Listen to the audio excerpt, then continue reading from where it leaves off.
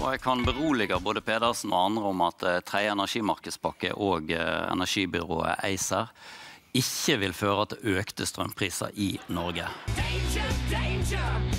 Solvik-Olsen fra Frp halv i dag, altså fra energiminister eh, Søviknes, så ble det hevda at, men det ble hevda at her har de som er mot ACER, nøra opp under frykt og konspirasjon. Hva er det dere tenker da? De skaper frykt når de gir inntrykk av at vi mister kontroll på kraften, at prisene skal opp og alt dette. Det fine med dette er jo at om et år så vil vi kunne vise at alle påstandene de kommer her med, er feil.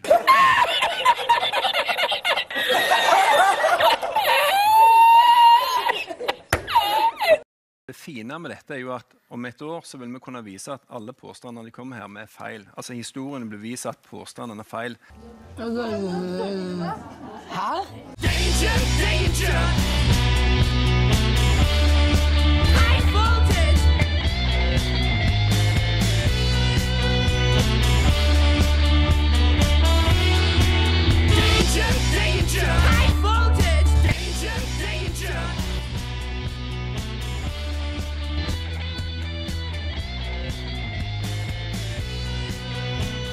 Justisminister har gått av, flertallet har vedtatt ACER på Stortinget, men i debattene på internett vokser hatet i flere politiske saker.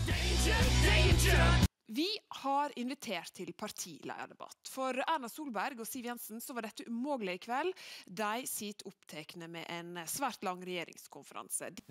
Men uansett om det er Statnett eller andre som eier den, så er det jo det viktigste prinsippet at eh, norske strømkunder ikke skal få eh, økt regning. Det er det som er viktig for oss. Nei, Vi er positive til strømkabler til utlandet, og derfor er vi- jo nå i gang med å bygge to kabler. Danger, danger, danger, danger, danger. Nøra opp under frykt og